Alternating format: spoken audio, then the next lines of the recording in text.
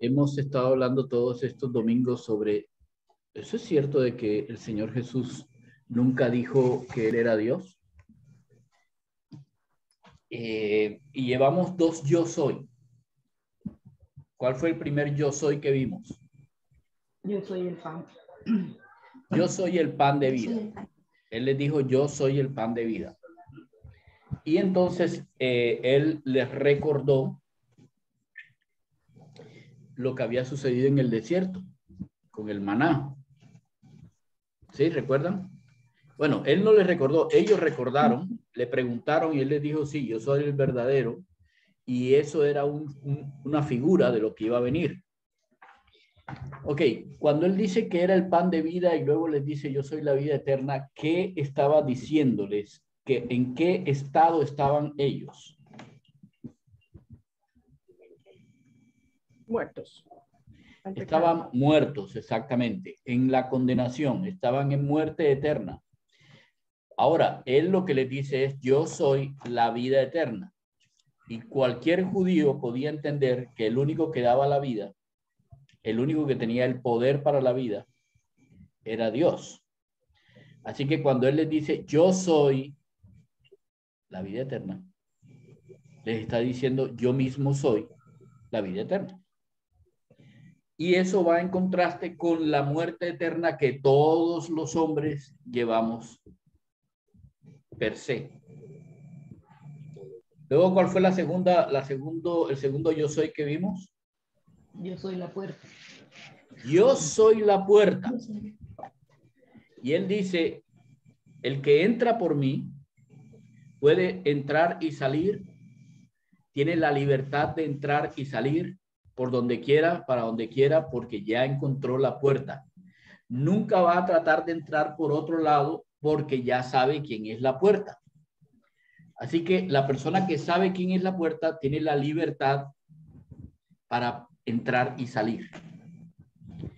Ahora, debemos entender la palabra libertad. Él, se las él les dice esta enseñanza después que le da la, vista a un ciego de nacimiento. ¿Recuerdan la, historia? ¿Recuerdan la historia? Y cómo cogió la arcilla, se la puso en los ojos y después le dijo, ves y lávate. ¿Recuerdan? Sí, señor. Ok, este, este hombre estaba ciego de nacimiento. Nunca había visto luz.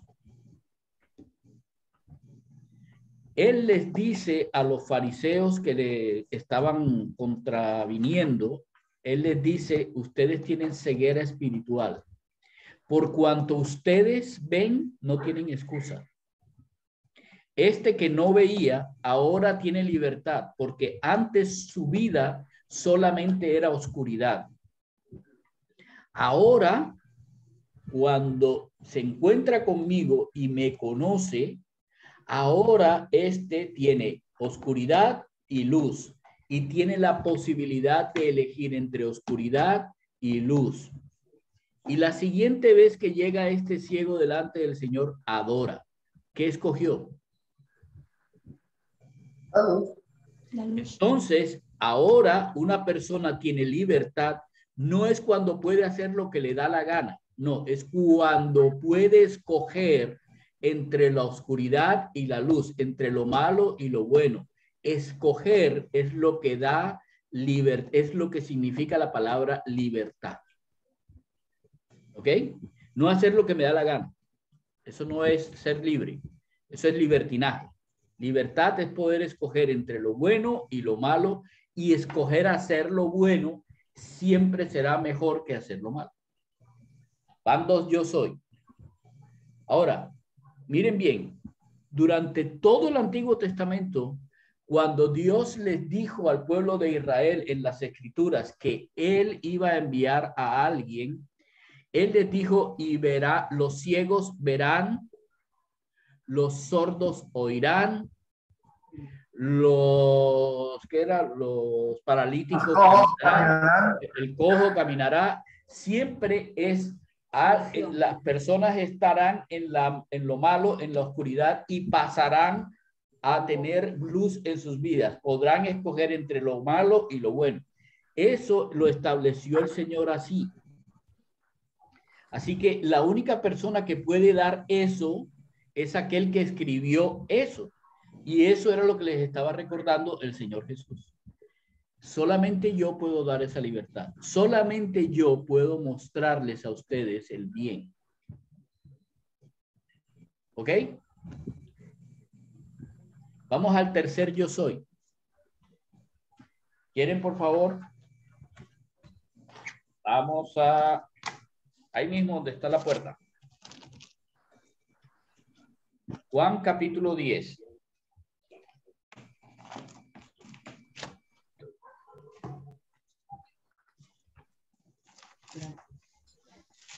Otra vez Juan capítulo 10. Ahora ya no vamos a leer. ¿Lo tienen? Ok, ya no vamos a leer sobre la puerta, sino sobre el pastor. Versículo 11. Ahora la enseñanza empieza así. Yo soy el buen pastor.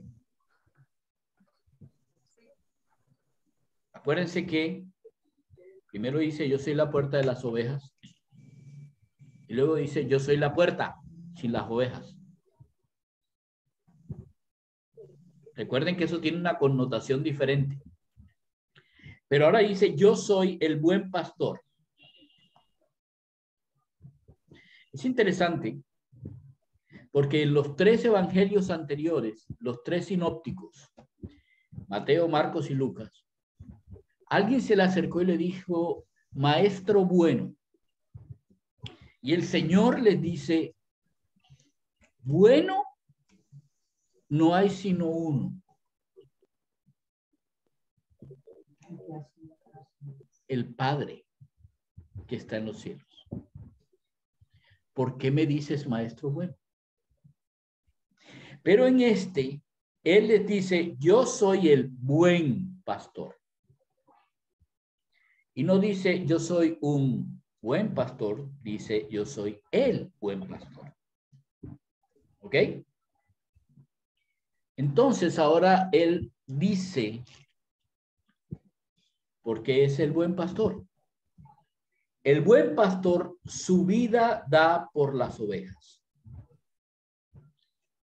más el asalariado y que no es el pastor. Escuchen, por favor, el asalariado y que no es el pastor. Son dos cosas diferentes. Porque algunos dicen, ah, entonces los pastores no hay que darles salario. No, no, no. Es que hay pastores a los que los que ganan por su trabajo su salario, pero hay otros que son asalariados que se dicen pastores. Gran diferencia. Aquí dice, hay un asalariado, pero ese no es pastor, aunque él diga que él es pastor, él no es pastor. ¿Por qué? Porque las ovejas no son propias de él. Entonces, como no son propias, ve venir al lobo y deja las ovejas y huye y el lobo arrebata las ovejas y las dispersa. Así que el asalariado huye porque es pastor. No, no huye porque es pastor, huye porque es asalariado. Por eso, por la razón esa, a él no le importan las ovejas. ¿Qué le importa a él entonces? El salario. El ingreso, el dinero. El dinero. El dinero. Entonces, si alguna vez alguna persona mientras le están compartiendo le dice, sí, pero ustedes piden el diezmo y piden... Espérate, le, Gustavito, apagas el micrófono, por favor. Yo puedo, yo puedo. Ay, mami, no me diga, hombre, qué embarrada, qué vergüenza. ¿Ah? Y lo mejor es que quedó todo grabado, Gustavo. Mm. No, no pasó nada. Entonces, vuelvo de nuevo. Entonces, cuando tú quieres reconocer un pastor, el pastor es pastor y recibe salario. Cuando alguien es asalariado y después pastor, entonces ya no es pastor. Si algún pastor está pensando solamente en su salario, no le importan las ovejas, le importa el salario. Y si es así, no es pastor. Porque el pastor tiene el compromiso de dar la vida por sus ovejas. De pensar en sus ovejas. No es solamente, no, no estamos hablando, obviamente que aquí el Señor Jesús está refiriendo a él y él iba literalmente a dar su vida.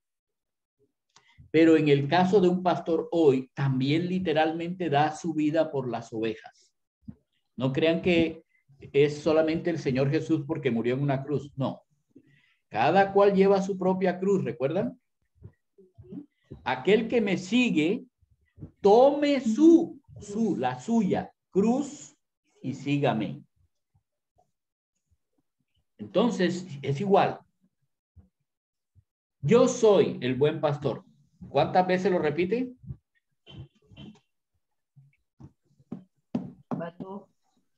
Van dos. Yo soy el buen pastor. Primera cosa que hace el pastor es que su vida está en función, en entrega a sus ovejas. La segunda, yo soy el buen pastor y conozco mis ovejas y mis ovejas me conocen a mí.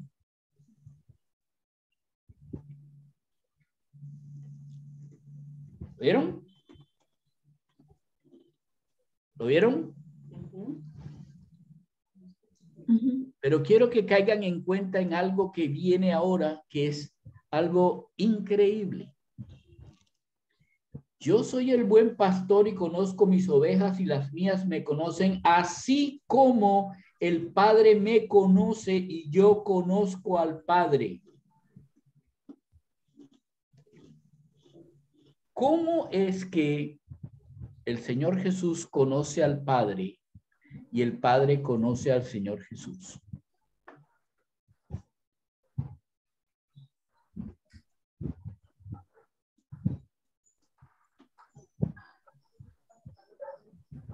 No, es retórica, no es retórica, no es una pregunta. Miren, tengo los brazos así. ¿Por qué? Eso significa estoy esperando. Porque solo no. Porque es el hijo. No, no, no, no. No estoy preguntando por qué lo conoce, sino cómo es que conoce el Padre al Señor Jesús y el Señor Jesús conoce al Padre. ¿Cómo es que lo conoce? Por su comunión, por su relación. ¿Cuál relación? Gracias. padre e hijo. Padre e hijo, muy bien, excelente. Ahora la vamos a leer otra vez. Yo soy el buen pastor y conozco mis ovejas y las mías me conocen. Yo las conozco y ellas me conocen. Como yo conozco al Padre y el Padre me conoce a mí. ¿Cómo conocemos entonces nosotros, cómo debemos conocer nosotros al Señor Jesús? En una relación. en una relación, tener una relación familiar de padre hijo, algo como yo estoy dependiendo de ti y tú eres mi, eh, mi cabeza, mi, mi, mi guía, mi tatantán, ¿ok? Porque esa es la relación que el Padre tuvo con el Señor Jesús mientras estaba en la tierra y el Señor Jesús con su Padre mientras estaba en la tierra. En la misma manera, las ovejas tienen relación con el buen pastor. Ahora dice, y pongo mi vida por las ovejas. Vaya y otra vez. Nadie me obligó a ponerla. Nadie obligó al Señor Jesús a ponerla. El Padre no le dijo, tienes que. Y pongo mi vida por las ovejas. El buen pastor su vida da, él la da por las ovejas. Y dice, también tengo otras ovejas que no son de este redil. ¿De cuál redil está hablando? De los judíos, de los Muy israelitas. bien, muy bien. En el versículo 1 dice de los judíos, de las ovejas de los judíos. Tengo otras ovejas que no son de este redil. Aquellas ovejas también tengo que traerlas, no, debo traerlas y oirán mi voz y habrá un rebaño y un pastor. No habrá más, así lo expresó después Pablo, no hay más judíos y gentiles, mujeres, hombres, esclavos, ricos, no. Todos son un solo rebaño de ovejas con un solo pastor, un pastor que dio su vida por sus ovejas, La iglesia y Jesús.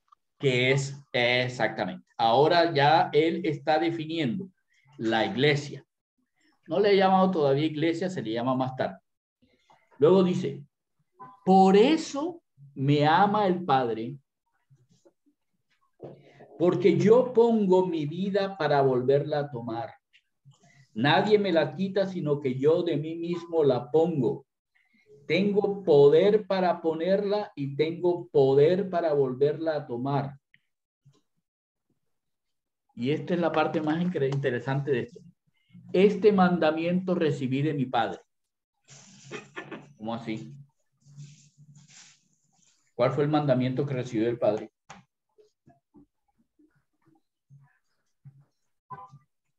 Poder para poner su vida y poder para poderla tomar nuevamente. De la vida y la muerte.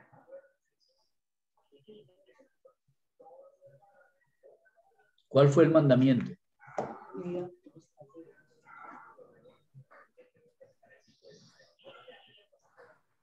Morir para salvar. Ajá. Poner su vida. Poner la vida. Muy bien, poner la vida. Pero él dice aquí que fue un mandamiento del Padre y sin embargo arriba dice, nadie me la quita, sino que yo mismo de mí la pongo. Pero si era un mandamiento del Padre. Pero él tenía la libertad. Su decisión. Ah, excelente, muy bien. Oigan, está, oigan, están de una fluidez. Merecemos carita feliz. Sí, sí, no, no, yo no voy a buscarla. En algún lado tiene que estar. Excelente. El punto no es que el mandamiento no sea dado por el Padre, el punto es que Él toma la decisión de hacer lo que el Padre le dice que haga. Y cuando Él hace eso, el Padre sabe que su Hijo lo ama. Y en contraprestación, si se puede llamar contraprestación, el Padre ama al Hijo. O sea que la relación de la que está hablando arriba de como el Padre me conoce y yo conozco al Padre es una relación de amor entre el Padre y el Hijo. Entonces es la misma relación que hay entre el pastor y las ovejas, una relación de amor. El amor de las ovejas hacia el, hacia el pastor y del pastor hacia las ovejas. ¿Por qué? Porque la oveja, el pastor puso la vida por las. Wow. Aquí estamos entendiendo absolutamente todo lo que significa yo soy el pastor.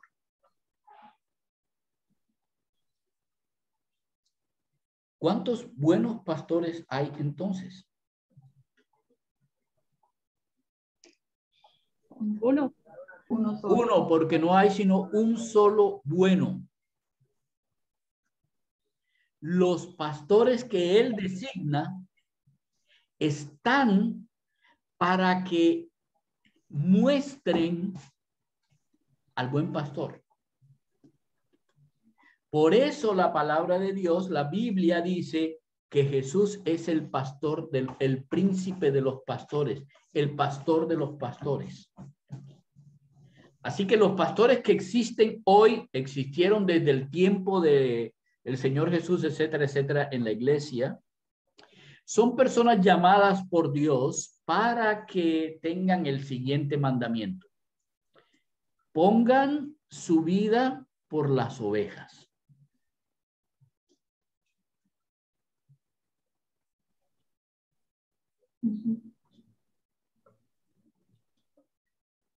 ¿Están entendiendo la cara que estoy poniendo? No les dijo que sus ovejas pongan la vida por usted.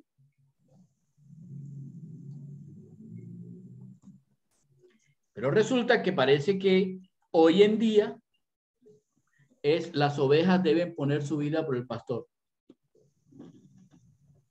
Si ustedes ven un pastor así, huyan. Porque miren bien lo que dice arriba. Miren bien lo que dice arriba.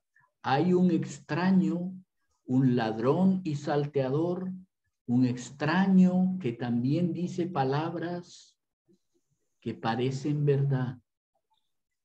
Pero ese ladrón y extraño no viene sino para quitar y matar y destruir.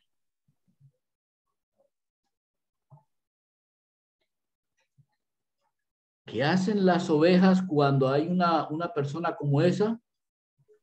Versículo 5, al extraño no seguirán, sino que huirán de él porque no conocen la voz de los extraños. Ojalá que la iglesia en el mundo entendiera este pasaje tan increíble. Yo soy el buen pastor. Porque entonces no se dejarían engañar. Hay extraños dentro de la iglesia. Vienen a robar. Ay, pero el pastor tal se llevó la plata. Mm, ya se los había dicho el Señor. Vienen a robar y matar y destruir.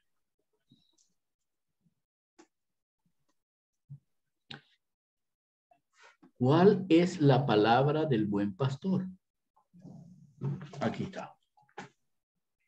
Si empiezas a seguir otra palabra que no sea esta, sencillo. Te van a engañar. Y en vez de seguir la palabra, tú deberías, la palabra de esas personas debes huir. No vayas. No, pero es que tiene algunas enseñanzas que son buenas. Hay que, hay que, hay que ser justos. El tipo predica, uy, ese es un predicador, uy. No, Dios dice, huyan. El Señor no dijo, no puso aquí la palabra huyan porque de pronto eso les va a servir. No, no, no. Las ovejas que conocen al verdadero pastor huyen, huyen de aquellos que no hablan la palabra del buen pastor.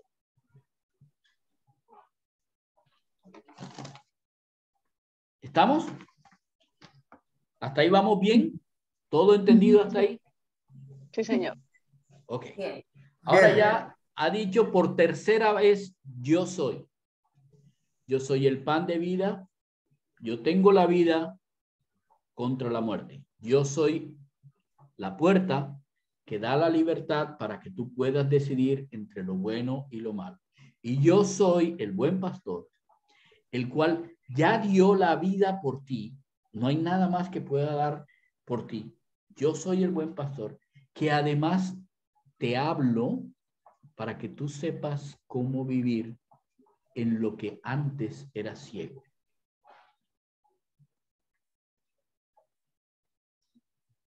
¿Estamos?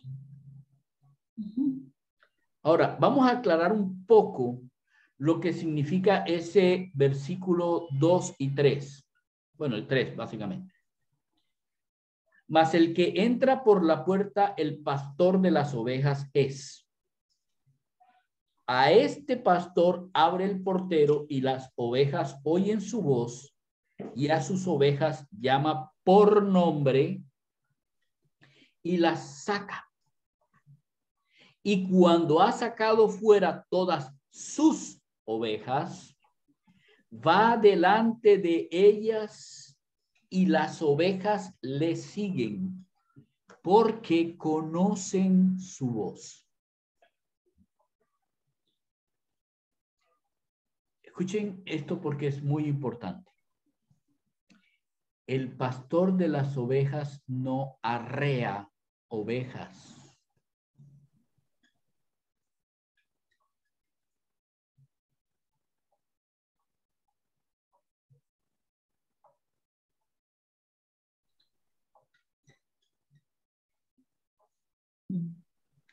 No va detrás con un palo pegándoles en las nalgas para que vayan adelante. No, la llama. Él va No va con una Biblia dándoles bibliazos por todas partes para que vayan adelante y caminen. No. Él va adelante y sus ovejas le siguen Porque oyen su voz. en su voz. Las ovejas lo siguen porque oyen su voz.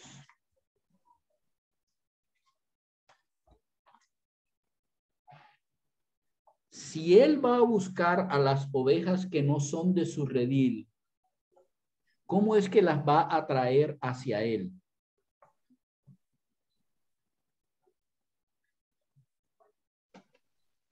Por su voz llamándolas. Oirán mi voz y habrá un rebaño y un pastor.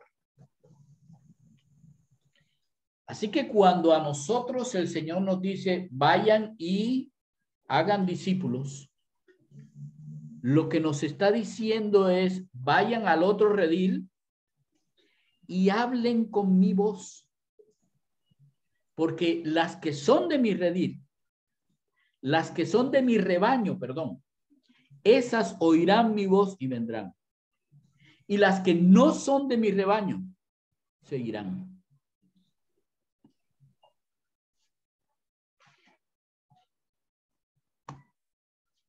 ¿Ok?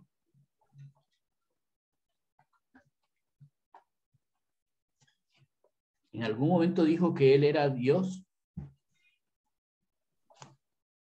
Es lo que vamos a ver.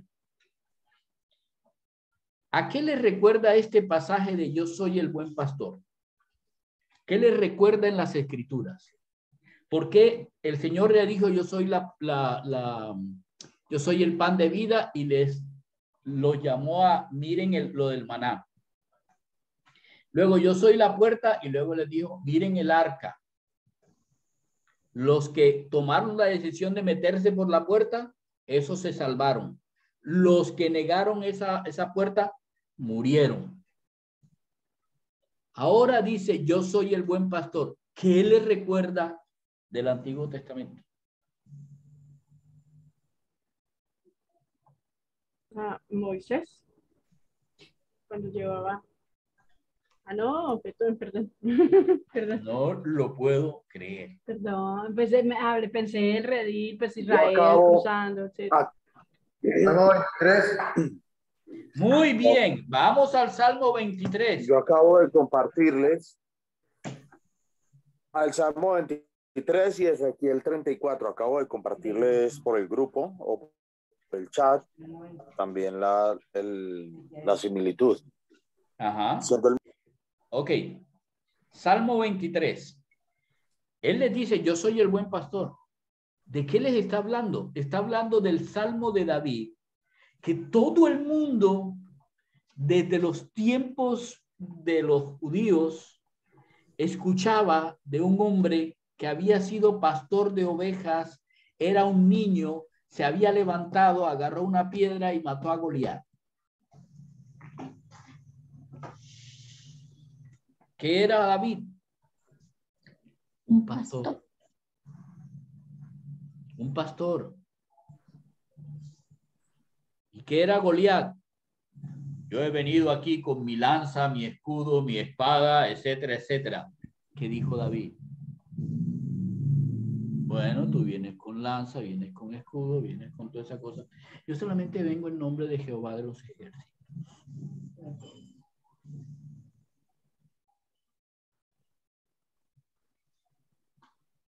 Si ustedes ven eso, ustedes pueden ver nuestro mundo hoy.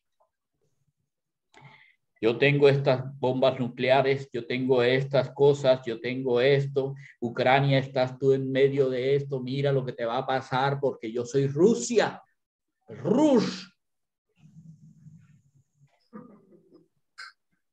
Ay, israelitas, miren, ustedes no saben con quién se metieron. Aquí en Gaza tengo a ISIS, perdón, aquí en el Líbano tengo a ISIS, aquí en Gaza tengo a Al Jazeera, aquí en Al Jazeera. Eh, a no sé quién, bueno, en Siria tengo a no sé quién, allá en Yemen tengo.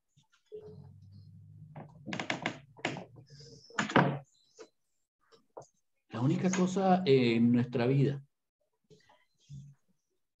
tú por qué no tienes esto, por qué no tienes aquello, por qué no tienes esto. En cambio, yo tengo esto y esto y esto y esto y esto y esto y esto. Yo tengo, yo soy, yo soy, yo soy, yo soy, yo soy. Y la única cosa que nosotros tenemos que decir es, ah, yo vengo en nombre de Jehová de los ejércitos.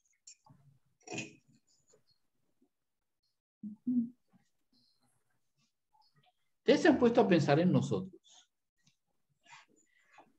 No, yo a esa persona no le comparto porque mm, con todo lo que ese tipo sabe, con todo lo que ha estudiado, no, y con toda la vida que ha tenido, y las experiencias, y los viajes. Y nosotros vemos a unos Goliat al frente. En vez de recordar que ese Goliat que tenemos al frente si mira un poquito por encima del hombro, verá a un Dios que creó los cielos y la tierra.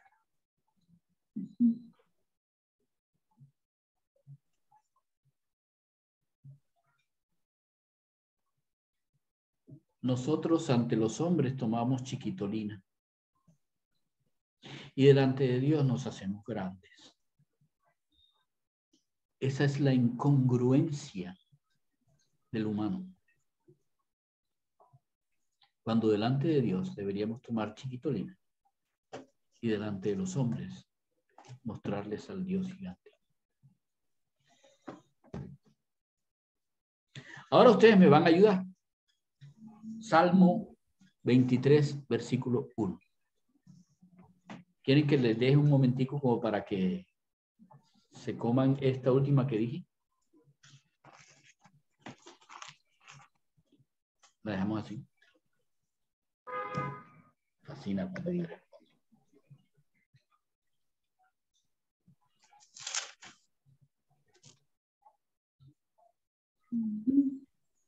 Bueno, ¿quién me ayuda y lee el Salmo 23.1?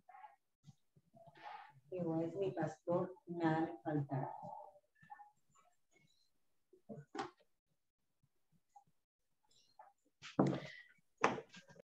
¿Alguien me quiere leer el Salmo con la traducción de Jehová?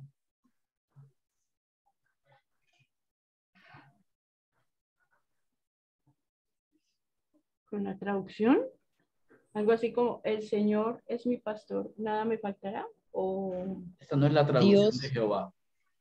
Dios es mi, mi pastor. Esa no es la traducción de Jehová. Jesús, no. No, esa no es la traducción de Jehová. Yo soy. Yo soy. Muy bien, excelente, Elsie, muy bien. Yo soy es mi pastor. La traducción de la palabra Jehová es el gran yo soy. Yo soy el que soy. Le dijo el Señor a Moisés, yo soy el que soy. La traducción, muchas gracias, Elsie, yo soy, es mi pastor. ¿Cuál es, qué es lo que dice en Juan capítulo 10? Yo soy, es el buen pastor.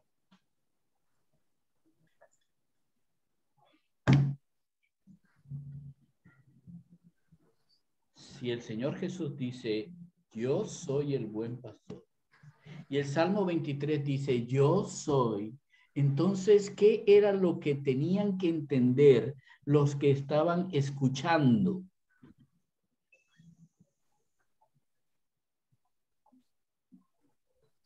¿Qué era Dios? Muy fácil. Buenas, Prisca, ¿cómo estás? que estaban delante de Dios. Prisca, bienvenida. Mira, Hace como dos años y medio que no nos vemos.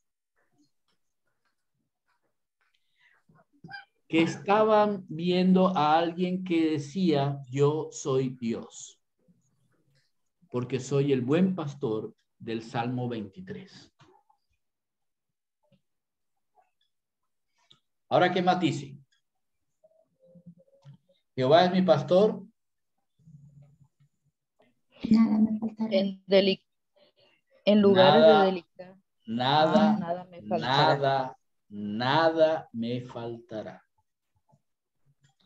Esa palabra nada hay que resaltarla y ponerla en negrilla y en mayúsculas. La pregunta es si nosotros creemos eso.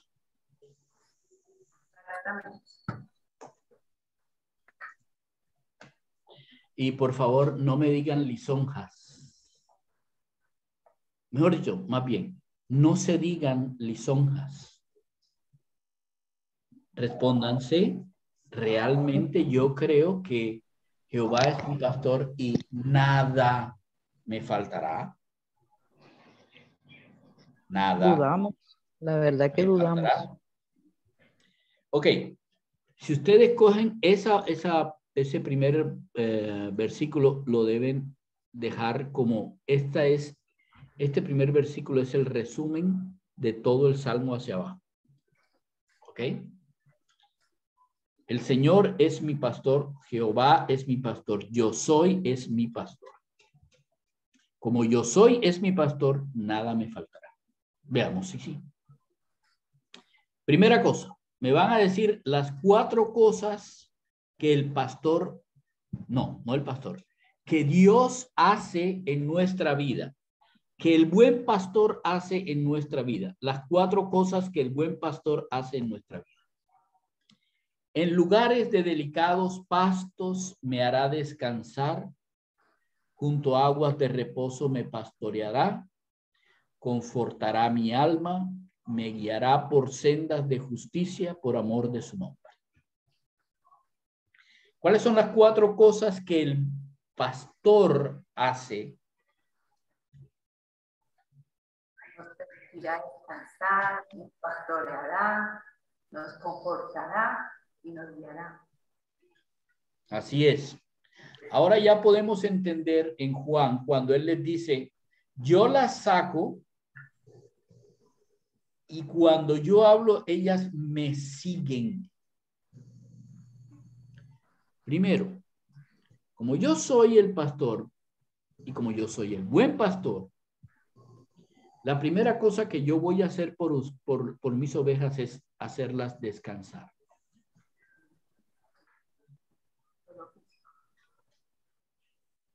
¿Recuerdan al Señor Jesús diciendo, vengan a mí los que están trabajados y cargados, que yo los haré descansar? En lugares de delicados pastos me hará descansar. Es en sus pastos donde yo descanso. Hablaba esta mañana con la negra acerca de la palabra yo descanso en Dios. Ajá. ¿Has escuchado eso? Sí, señor. Ajá, ok. Ahora quiero que alguno me diga cómo se imagina a una oveja en lugares de delicados pastos me hará descansar. ¿Qué se imaginan que pasa? Que se recuesta en el pasto. Muy bien. Oiga, Carita feliz. carita feliz. Que la ovejita llega y pone las paticas y se recuesta. Y la palabra es reposa.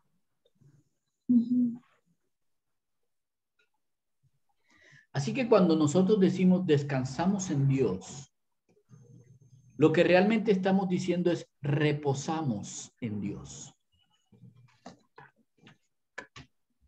Esta manzana reposa sobre la Biblia.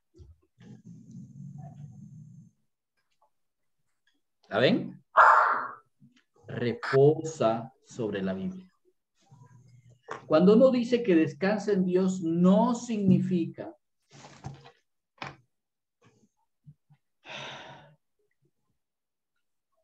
ya yo le entregué esas cosas a Dios. No. Significa tú reposas, te acuestas, te muyes. Descansa.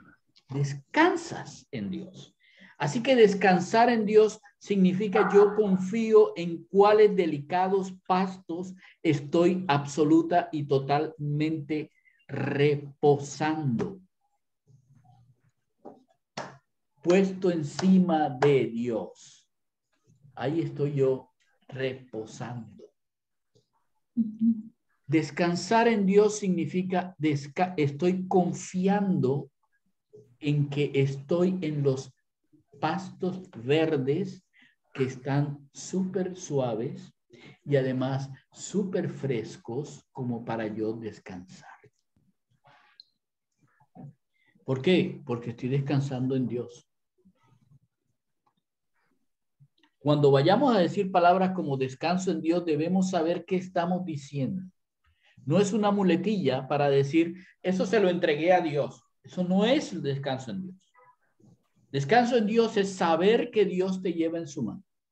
Descanso en Dios es saber que tú estás aquí en esa palma y que nada te va a mover de ahí. Eso es. En lugares de delicados pastos me hará descansar. Y luego dice, junto a aguas, ¿cómo? En sus pastos. En sus pastos. Junto a aguas de reposo me pastoreará. Cuando ya yo esté acostado en ese sitio, pasa un río.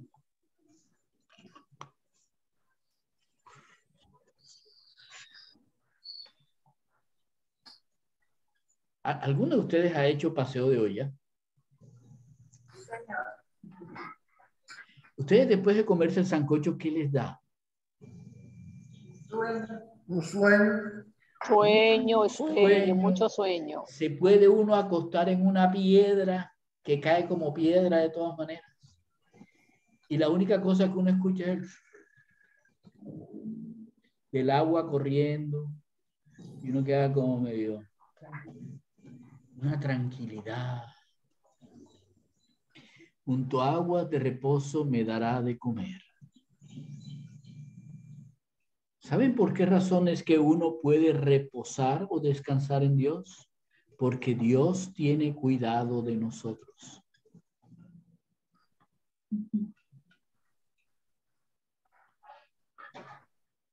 Así que si estás angustiado, Dios va a dar comodidad a tu alma.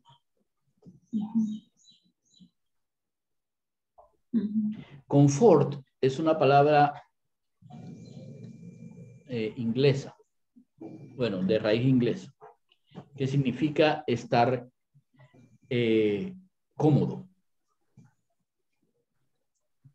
En Dios estamos comodísimos. Nuestra alma está comodísima. Eso es lo que sucede cuando uno realmente cree que está reposando sobre delicados pastos y tiene todo lo que uno necesita para vivir. Porque Dios tiene cuidado de uno. Así que el corazón de uno está o debe estar tranquilo. Y ahora sí, cada vez que Él diga, vamos para otros pastos, debes ir porque son sendas de justicia que te guía Él por amor. Ah, hablaba también con la negra acerca de eso ayer. De, ayer no, esta mañana, no. He estado pensando durante todos estos días acerca de esa, es, esa porción de por se- me guiará por sendas de justicia por amor de su nombre.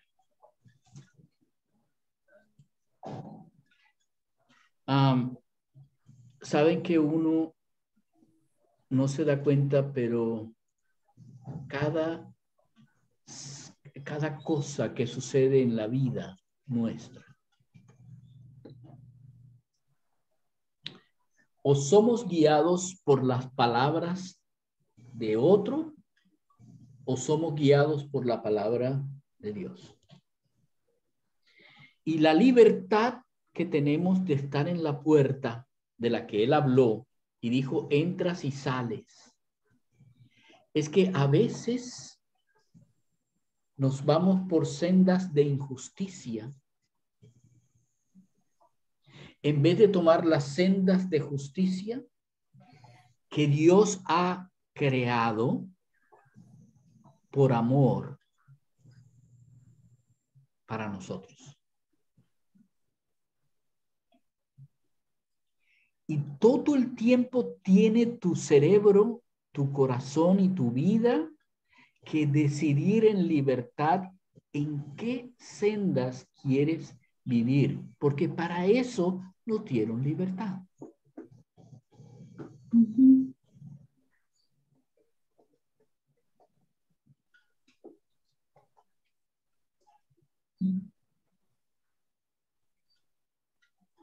Les aseguro que las sendas de injusticia no son por amor. Te van a prometer el cielo y la tierra, pero no por amor. El único que tiene sendas justas por amor es Dios. Todos tenemos que luchar en nuestra mente, en nuestro corazón, en nuestro cuerpo, en todo el ser, entre seguir las sendas del Señor o seguir las sendas del mundo. Todos los días, a cada minuto de nuestras vidas, tenemos que usar la libertad para ir por unas sendas o ir por las otras. Todo eso es lo que el buen pastor hace. Te hace descansar, te va a cuidar, te va a confortar, consolar y te va a guiar por el buen camino. Ahora bien, versículo 4 en adelante. Esto es lo que hace Jehová, que es mi pastor. Y por estas cosas nada me va a faltar. Y yo pregunté, ¿creen eso? Sí. Claudia, sí. O sea, uno es uno. Sí, Yo también. Él Yo sí. también. Ok, muy bien. Sí, sí, amén. Porque aunque andes en valle de sombra de muerte, no debes temer mal alguno, porque tú estarás con Dios.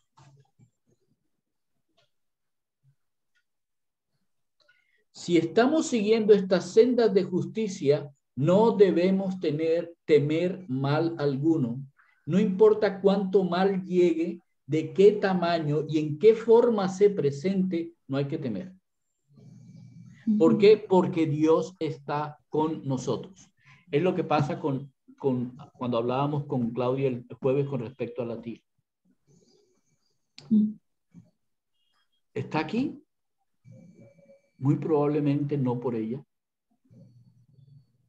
sino porque Mm. Los demás debemos ver las sendas de justicia que Dios hizo en la vida de la tía de Claudia para que otros miraran y siguieran esas sendas. No temeré mal alguno. Tu vara y tu callado me infundirán aliento. ¿Eso con qué es que va con respecto a- al versículo 3?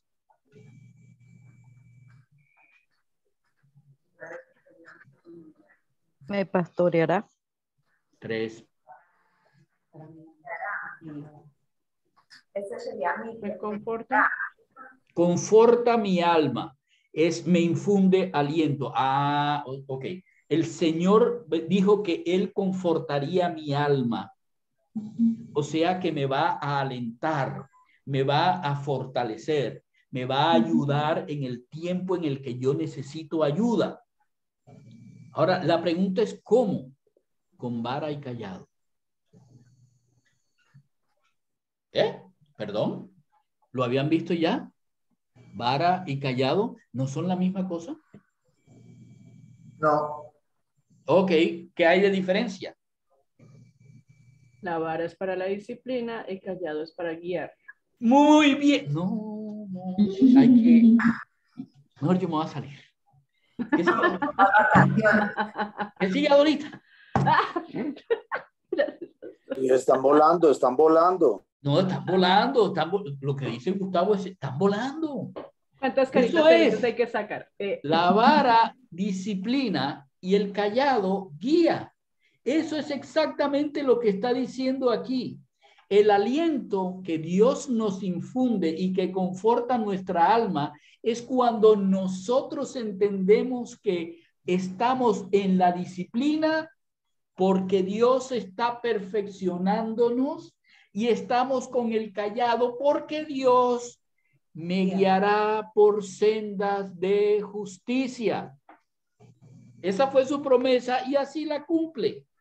Entonces, esto es lo que me lleva a que yo esté confortable en mi corazón. Yo sé quién me guía y yo sé quién me disciplina. Ah, buenísimo. Segundo, Una, una, una acotación.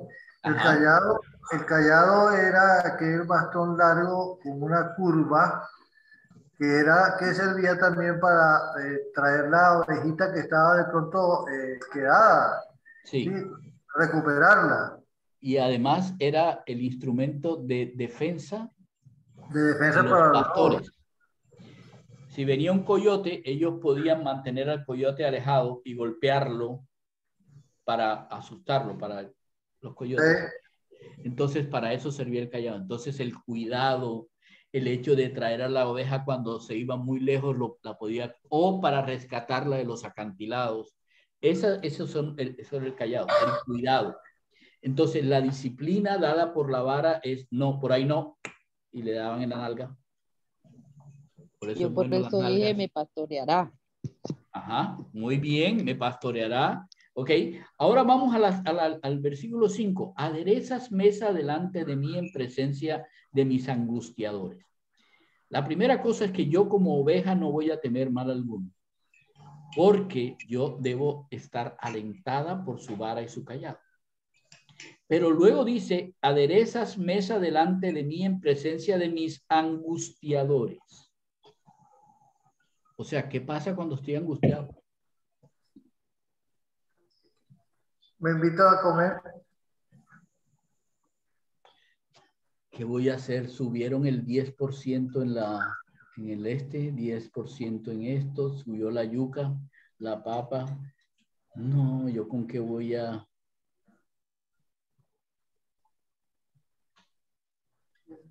Dios dice que Él adereza mesa delante de mí en presencia de mi angustia.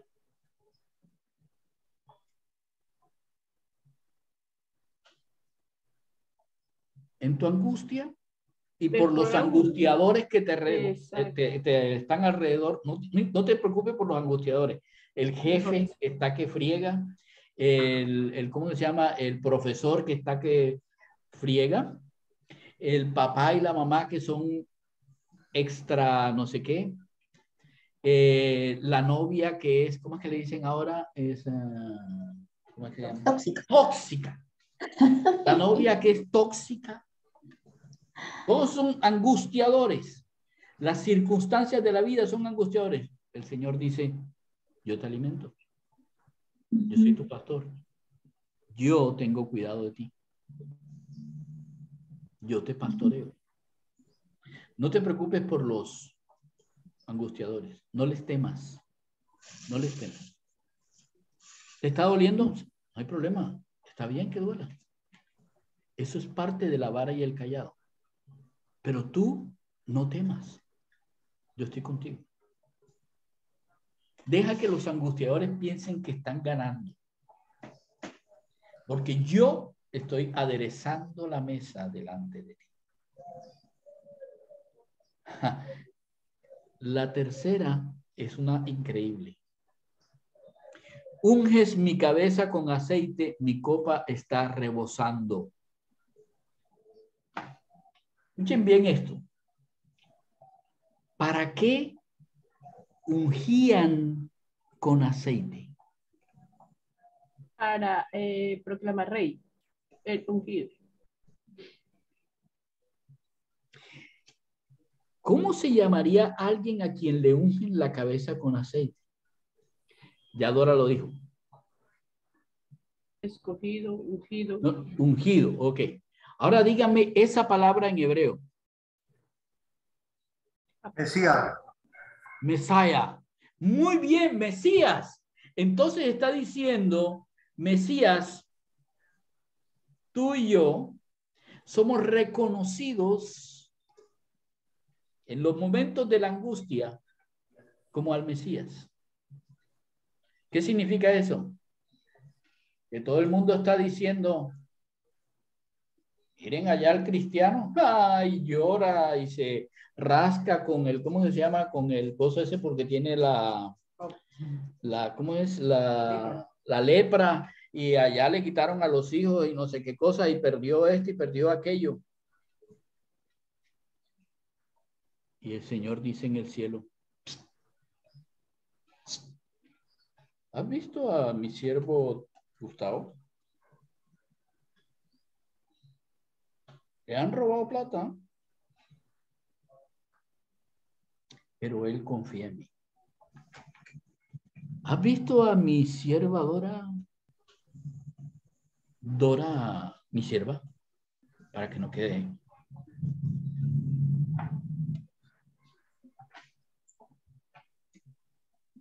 Está lúcida.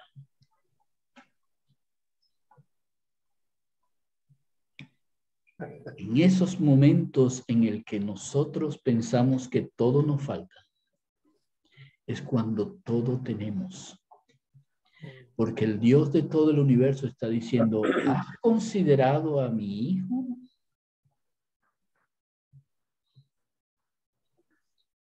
Ese unges mi cabeza es reconocimiento de quién eres.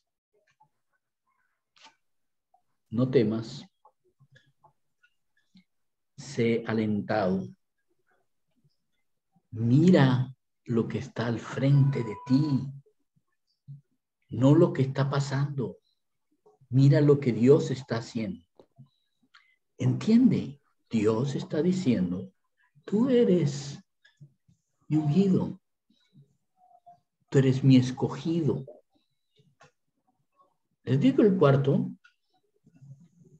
ciertamente, no sé a quién he escuchado decir yo esa palabra, ciertamente, ah, bueno, debió ser alguien, algún político, no hay. Pero en el caso de Dios es ciertamente, es certísimamente, amén, amén. El bien y la misericordia me seguirán en la eternidad. No. Todos los días de mi vida. Escogiste la, la senda mala, misericordia. Escogiste la buena senda, el bien. Y todos los días de nuestra vida, Dios está con bien o con misericordia. No hay condenación. No dice en ninguna parte condenación, dice bien y misericordia todos los días. No nos dejemos engañar. Es que cometiste pecado, entonces ya tú perdiste. ¿Qué perdiste ni qué perdiste? Lo que vas a recibir es misericordia. Y Dios va a coger con su vara y con el callado te va a recuperar. No le, no le temas.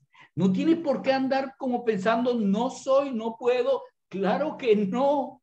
Esas son solamente ideas tontas que nos meten a nosotros para que nosotros caigamos y nos apartemos de la senda del bien y la justicia que el Señor ya ha preparado por amor a nosotros. ¿Habían visto eso? El bien y la misericordia me seguirán. No dice condena en ningún lado. Ah, y por si fuera poco, y si no es suficiente eso, tú necesitas recordar que en la casa de yo soy morarás por siempre. ¿Por qué dirá la casa? Porque es la herencia de yo soy. En la herencia de yo soy vas a vivir la eternidad.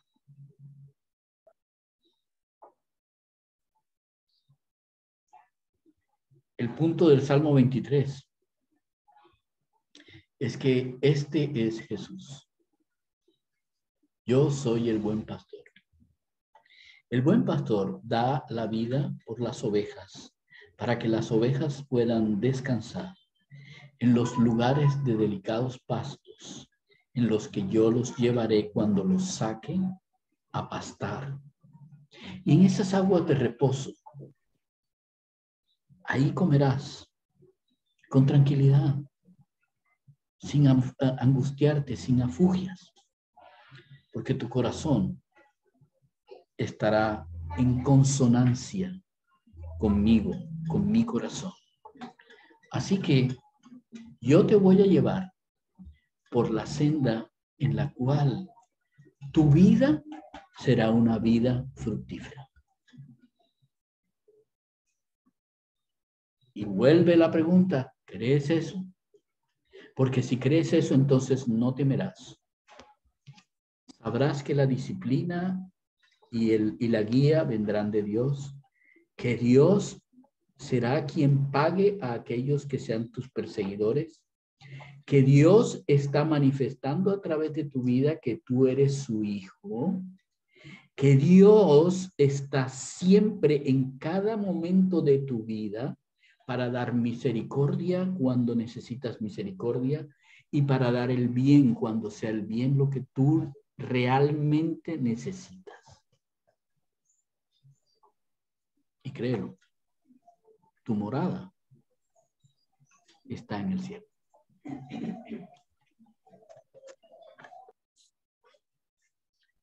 ¿Creen que el Señor Jesús les dijo a ellos que Él era Dios?